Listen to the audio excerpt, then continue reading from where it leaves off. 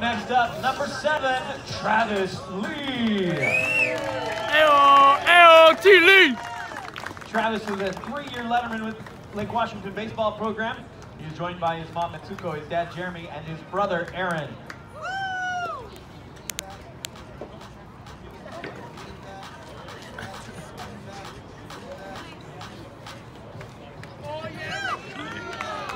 Travis's lasting memory from his tank.